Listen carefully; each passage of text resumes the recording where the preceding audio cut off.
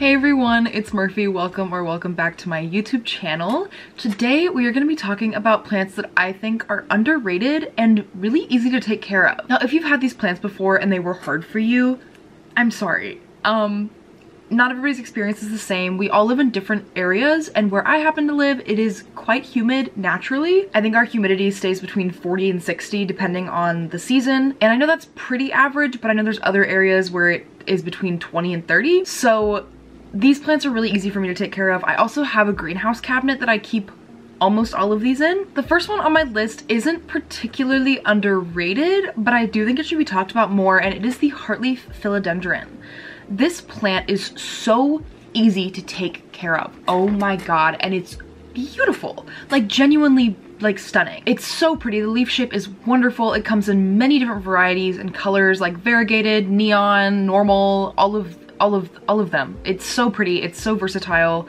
Um, it can vine, it can climb, it just, oh, it's so pretty. It's perfect. It's great for any space in your home. I find that it doesn't really require that much light. It's really low maintenance and it's just, ugh, it's such a good plant. I, I really do love it. It's just, if you're gonna get one plant, I recommend a heartleaf philodendron, like a big one. Even if you get a small one, even if you get a cutting, that thing will grow into a pretty big plant in a year. I mean, it's just, it's wonderful. I do find that mine is a little thirsty, but if you tend to overwater, I think this is a really good plant for you. Genuinely one of my favorite plants, even though it's super basic and I'm more of a rare plant girly, but I really, I'm into this plant. I have it hanging above my bed and I just think it looks so nice. It adds to the space. It just brings life to the space. It's just really aesthetically pleasing and just it's wonderful. I love it. There's not really much to say about it, but I do really, really, really, really, really like this plant. Next up on the list is my pink princess philodendron, and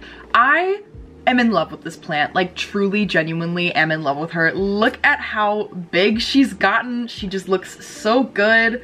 She is doing so well. She has all of these roots that are shooting off. And I know she's low variegation. I'm fully aware of that. And it does make me sad sometimes. But I do really love her anyways. She's so unique and she grows so, so, so quickly. As soon as a leaf hardens off, she's already putting out a new one. Like this leaf hardened off the other day and this is already like come out. Like that's insane to me. I love her. She's so easy to propagate. I've propagated three pink princesses now and I just I love this plant. Like I really truly do. I really do think this is a staple and I think it should be in everyone's collection. And I know mine looks a little lanky and a little silly, but she is just one of my favorites. I really, really love her. She's super low variegation, like I said, but I don't even care that much. I really don't. She's one of my favorite plants in the entire world.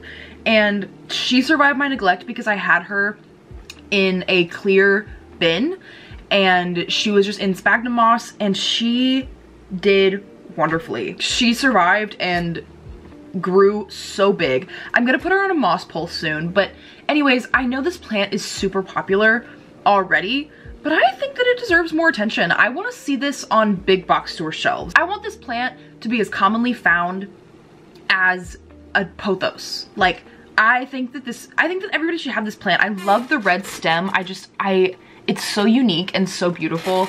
I love philodendrons. I like the, the leaf shape a lot. I just, I think it's a staple. I don't think it's overrated. I know a lot of people think that this plant is overrated, but I really don't believe that. I think that it deserves more hype.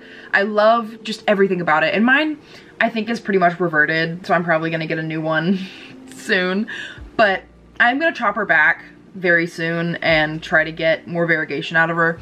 But I really don't mind because even though she doesn't have a lot of pink on her, she's still really nice and really cute and grows so quickly and just gives me so much joy.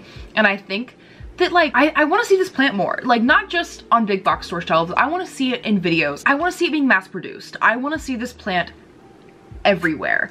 And I really think it deserves it. I think it's so precious. I, I love it. It does have a risk of reverting, but that doesn't bother me like at all. But yeah, I love this plant. She's so cute. She's precious and she's just, I love her. She was my first ever wishlist plant actually and um, I'm so happy to have her. She's just, I love her very much. Next is my white knight philodendron. I love this plant and I know it's a juvenile form, but honestly, kind of like it better than the large form. Like just kinda, but like I really do love this plant. I think it's so wonderful. And it grows really, really, really, really quickly for me. Sometimes it puts out multiple leaves at a time. I do have two, I do have three plants potted up in this pot, but like look at this leaf.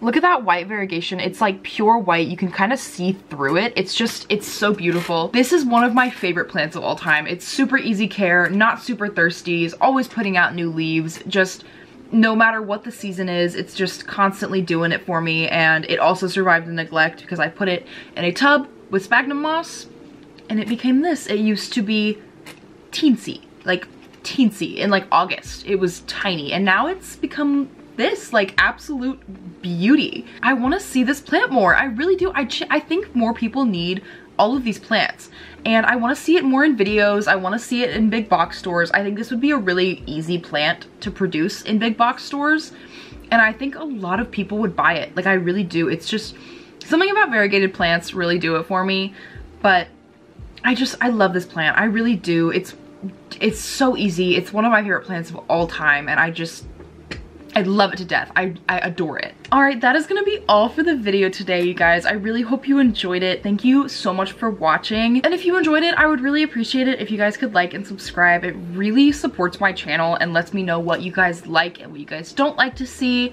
And also, if you would like, feel free to leave a comment about what you would like to see from me. I really, truly make content for you guys and I wanna know what you guys want from me and what you guys want to see and I would love to make it. So um yeah, have an amazing rest of your day or night and I will see you guys in the next one. Bye!